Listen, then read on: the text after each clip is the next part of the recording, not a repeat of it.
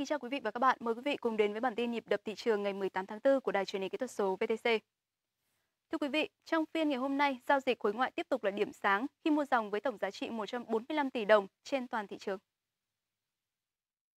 VN Index bật tăng nhẹ vào đầu phiên, song lực cầu yếu dần khiến chỉ số dần suy giảm. Sau thời gian dưới tham chiếu, lực cầu gia tăng giúp VN Index đảo chiều tăng điểm và lấy lại sắc xanh vào cuối phiên. Dòng tiền cải thiện mạnh vào phiên chiều, giá chỉ giao dịch khớp lệnh trên HOSE vượt 8.400 tỷ đồng tăng 25% so với phiên trước đó.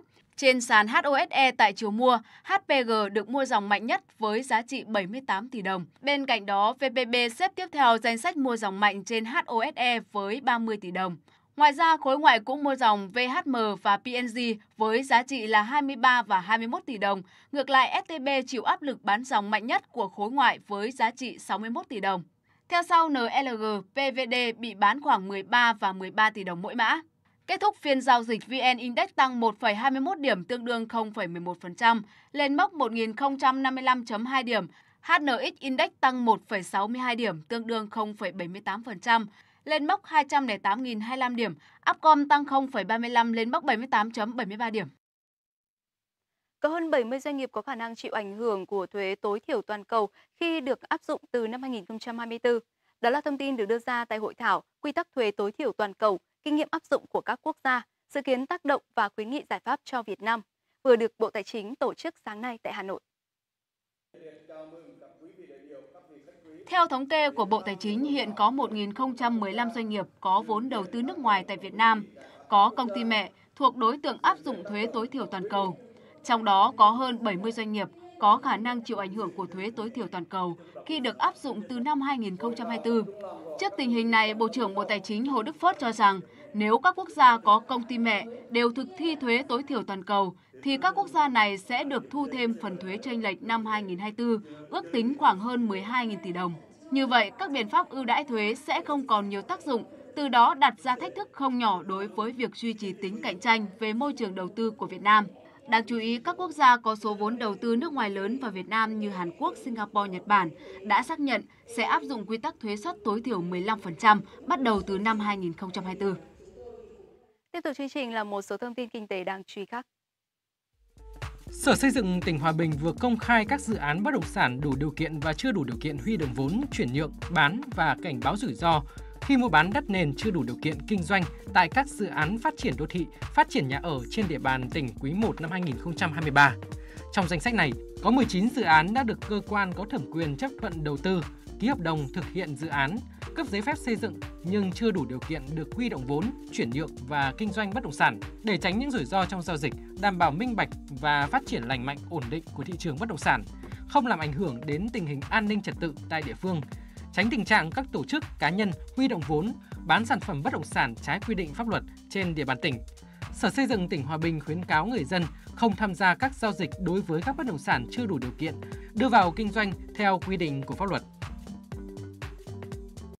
Theo Hiệp hội Thép Việt Nam, sản lượng thép xây dựng sản xuất trong tháng 3 đạt 912.840 tấn, giảm 4% so với tháng trước và giảm 35% so với tháng 3 năm 2022. Bán hàng thép xây dựng đạt 890.560 tấn, sấp xỉ mức tháng trước nhưng giảm 38% so với cùng kỳ năm 2022. Trong đó xuất khẩu thép xây dựng đạt 160.413 tấn, giảm 49% so với tháng 3 năm 2023. Tính chung quý 1 năm 2023, sản xuất thép xây dựng đạt 2,7 triệu tấn, giảm 23% so với cùng kỳ năm 2022. Bán hàng thép xây dựng đạt 2,6 triệu tấn, giảm 28,5% so với cùng kỳ năm 2022. Trong đó xuất khẩu đạt 422.000 tấn, giảm 41% so với cùng kỳ năm 2022.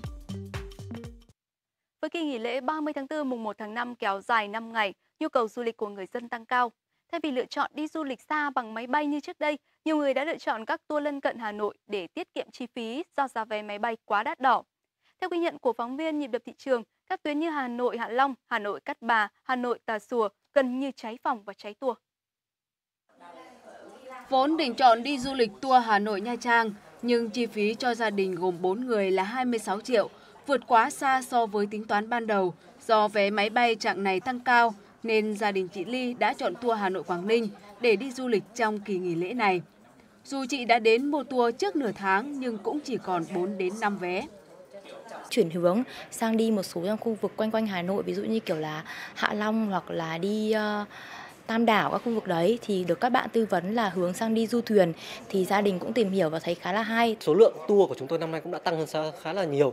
À, thống kê sơ bộ cho tới thời điểm này thì cái lượng đi lễ đi đi trong dịp lễ từ 28 tháng 4 cho đến mùng 2 tháng 5 của chúng tôi sẽ có khoảng tầm từ 4 đến 6 nghìn khách và nó dự kiến sẽ tăng gần gấp đôi so với năm 2022.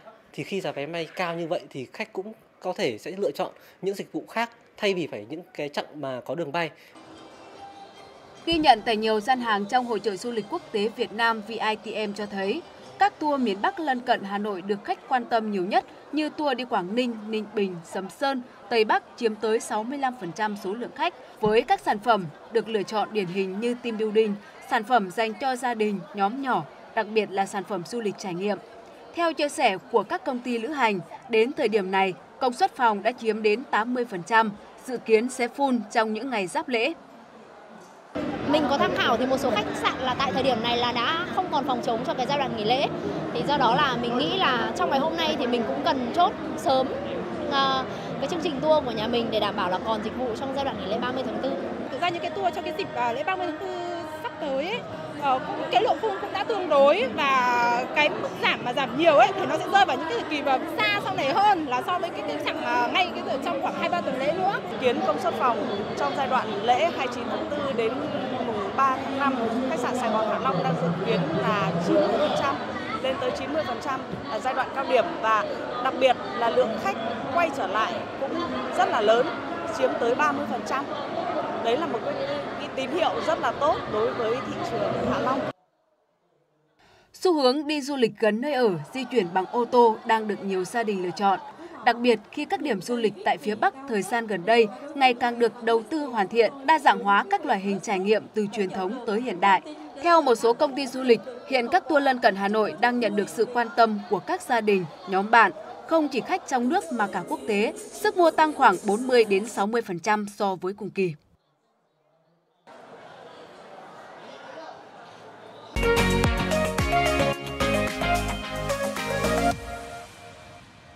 Sáng nay tại Hà Nội, công ty cổ phần Masan Hightech Materials đã tổ chức thành công đại hội đồng cổ đông thường niên năm 2023 với chủ đề Tăng trưởng bền vững năm 2022. Nhờ nhu cầu và giá các sản phẩm Wolfram tiếp tục tăng mạnh, nên Masan Hightech Materials đã đạt doanh thu kỷ lục là 15.550 tỷ đồng, tăng 1.985 tỷ đồng, tương đương 15% so với năm tài chính 2021.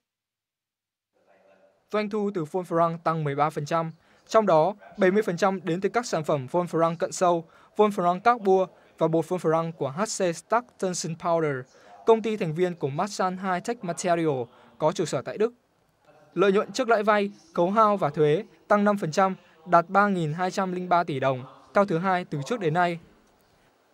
Masan High-Tech Materials đã trải qua một năm kinh doanh nhiều thử thách, vượt qua những biến động của thị trường và ảnh hưởng của các yếu tố khác nhau trong khu vực và trên thế giới. Doanh thu từ Wolfram cũng như tỷ lệ tái chế phế liệu Wolfram đều tăng, góp phần tạo ra kỷ lục về doanh thu năm 2022. Sản lượng Wolfram từ hoạt động tái chế của HC Stark tăng 13%. Công ty tập trung vào tăng sản lượng từ nguồn cung thứ cấp, tái chế phế liệu, phù hợp với định hướng chiến lược của Masan Hightech Material là giảm thiểu, tái sử dụng và tái chế. Tiếp nối những thành tựu đã đạt được trong năm 2022, Tháng 2 năm 2023, HC Stark chính thức ra mắt bột Wolfram đăng ký bản quyền trên toàn cầu Stark 2 Chair, sử dụng trong sản xuất pin Li-ion sạc nhanh và an toàn. Cuối tháng 3 năm 2023, HC Stark tiếp tục cho ra mắt thương hiệu Stark 2 Green, sản phẩm hỗn hợp bột Wolfram phục vụ cho các ngành công nghiệp sử dụng công nghệ in 3D với độ ổn định và tinh khiết cao, đặc biệt phù hợp trong lĩnh vực y tế. Stuck to Chair và Stuck to Green là thế hệ sản phẩm mới Giải pháp mới của Masan High Tech Material đáp ứng nhu cầu của các công ty công nghệ tiên tiến và các ngành công nghiệp toàn cầu. Năm 2023, công ty tập trung xây dựng mô hình kinh tế tuần hoàn, tích hợp đầy đủ chuỗi chu trình khép kín, bao gồm thu gom, xử lý tái chế vật liệu phế liệu, trả lại nhiên liệu sản xuất. Theo đó, Wolfram sẽ được thu hồi từ các sản phẩm pin và in 3D đã qua sử dụng và đưa vào tái chế, trở thành nguồn nhiên liệu đầu vào cho sản phẩm mới. Công ty kỳ vọng sẽ đạt doanh thu trong năm 2023 khoảng từ 16.500 cho đến 18.200 tỷ đồng, tăng từ 6 cho đến 17% so với năm trước. Thông tin vừa rồi cũng đã kết thúc bản tin nhịp đập thị trường ngày 18 tháng 4. Cảm ơn quý vị đã dành thời gian theo dõi. Kính chào tạm biệt và hẹn gặp lại.